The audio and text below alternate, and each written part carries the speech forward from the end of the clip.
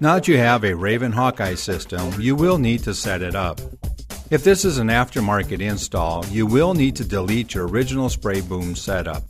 Don't worry as you will add your sections back to your machine profile after the Hawkeye setup.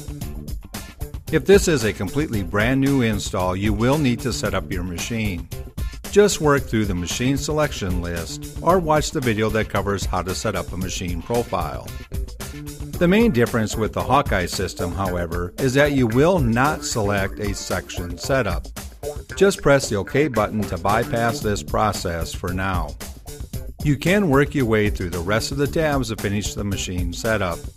You are now ready to set up your Hawkeye system. Press the VT panel. From the setup page, you will have some additional tabs for initial information. To start the setup process, press the Calibration Wizard button.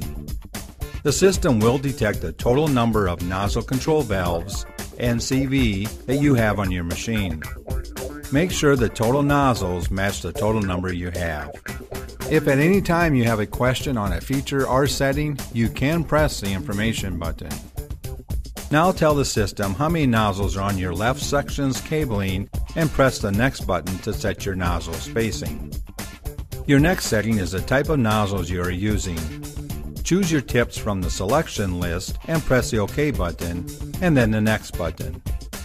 The next step is to assign the order of your NCVs from the inner to outer left nozzles to the inner to outer right nozzles. Once the auto indexing process ends, you can let the Hawkeye system know if you have any fence rows. Enter the number of sections you have and their widths. You can now assign your sections to the number of physical switches you have. On this machine, there are six switches, so a one to one assignment. Choose your pressure transducer type. You can press the information button for further explanation. Enter your meter cal and the unit of measurement it is based on. Put in a starting target rate and pressure setting. You now need to update your machine profile with your Hawkeye sections. Press the CAN Systems Configuration button and then on your machine configuration. Press the Section tab and then the plus button. Your Viper 4 will automatically add your section information. Press the Edit button and then the Measurements tab. Enter your offset from the rear axle to your application point measurement. You may need to uncheck the Use Defaults box to enter your measurement.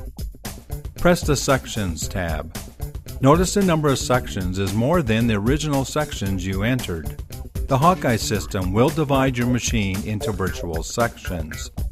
Please see the video that explains virtual sections for more information. At this point, basic setup is complete.